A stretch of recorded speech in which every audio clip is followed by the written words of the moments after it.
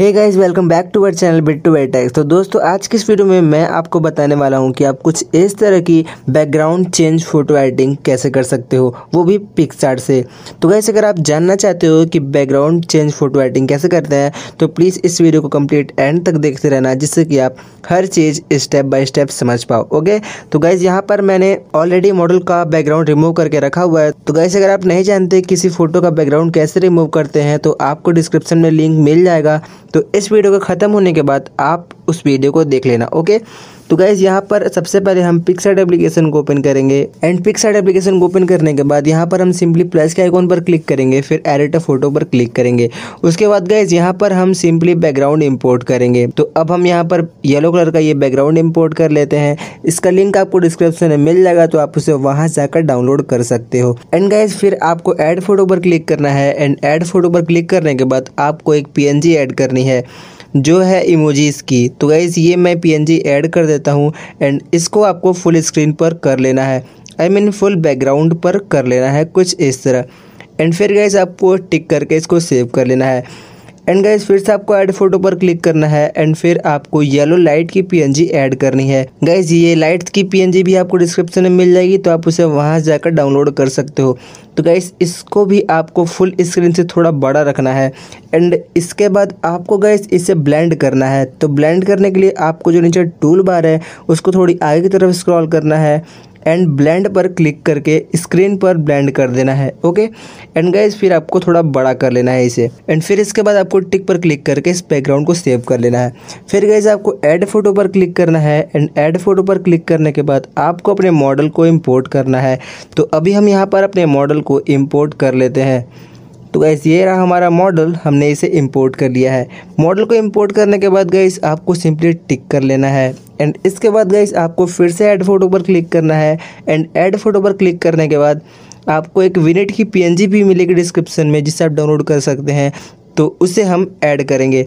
तो गाइस इसे ऐड करने के बाद आपको इसे थोड़ा बड़ा करना है एंड आपको इसकी ऑपोसिटी को थोड़ा कम कर देना है। अभी हम इसकी ऑपोसिटी को 72 के करीब रख रहे हैं तो आप भी 72 से 60 तक रखना।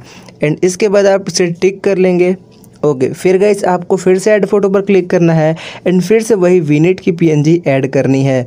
तो अभी हम फिर से ये पीएनजी ऐड कर लेते हैं एंड इसके बाद आपको इसे फुल स्क्रीन पर रखना है।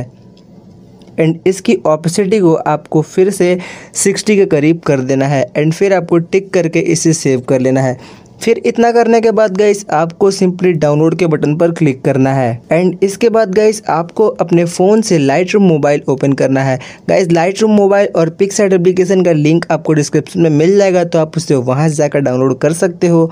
और गाइस अगर आप ऐसे एडिटिंग में इंटरेस्ट रखते हो तो आप हमारे चैनल सब्सक्राइब कर सकते हो ओके सो गैस इसके बाद आपको सिंपली ऑल फ़ोटोज़ पर क्लिक करना है एंड फिर आपको प्लस के आइकॉन पर क्लिक करके इस फ़ोटो को ऐड कर लेना है। तो गैस फिर इस फ़ोटो को ऐड करने के बाद आपको ये फ़ोटो को सेलेक्ट करना है ओके देन गाइस सेलेक्ट करने के बाद आपको प्रोफ़ाइल पर क्लिक करना है। फिर प्रोफ़ाइल पर क्लिक करने के बाद गाइस आपको सिंपली बेसिक पर क्लिक करना है एंड फिर आपको आर्टिस्टिक पर क्लिक करना है। आर्टिस्टिक पर क्लिक करने के बाद गाइस आपको आर्टिस्टिक ज़ीरो फोर पर क्लिक करना है एंड इसकी जो ऑपोसिटी है, उसे गाइस आपको इंक्रीज कर देना है। एंड गाइस इसे हम इंक्रीज करके कर देते हैं 160 के करीब। ओके देन गाइस फिर आपको टिक पर क्लिक करना है। एंड फिर गाइस आपको इफ़ेक्ट पर जाना है। एंड इफ़ेक्ट पर जाने के बाद आपको इसके टेक्सचर को बढ़ा देना है एंड क्लैरिटी को बढ़ा देना है। एंड गाइस आपको जो विनिट है, उसे थोड़ा कम कर देना है ओके एंड गाइस इसका जो मिड पॉइंट है, आपको उसे 24 के करीब कर देना है।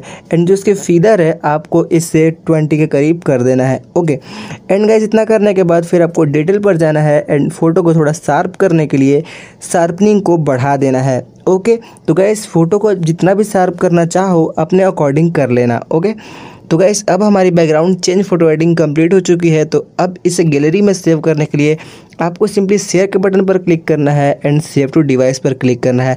उसके बाद गए जो फ़ोटो होगी एक्सपोर्ट होना स्टार्ट हो जाएगी और एक्सपोर्ट होकर आपकी गैलरी में सेव हो जाएगी।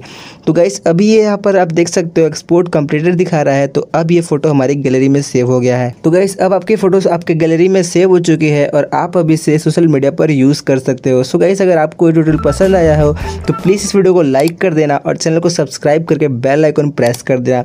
और गाइस अगर आप इस तरह की और इंटरेस्टिंग फ़ोटो एडिटिंग सीखना चाहते हो तो आप हमारे चैनल के प्लेलिस्ट चेक कर सकते हो और हमें आप इंस्टाग्राम पर भी फॉलो कर सकते हो गाइस ओके तो गाइस मिलते हैं नेक्स्ट वीडियो में. तब तक के लिए टेक केयर बाय